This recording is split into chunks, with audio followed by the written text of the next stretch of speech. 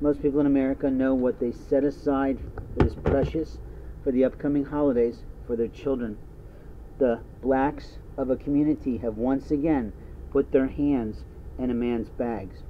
I am now missing gifts that I put together for children that I know. Someone thought that they had the right once again to put their hands in my craft saddlebag and stole two precious items from me. One is for one of my best friends. It is a fox medallion.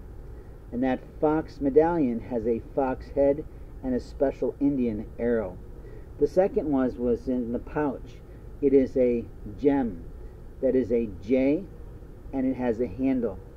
The liars of America steal in the night. I found two of the three items where they don't belong.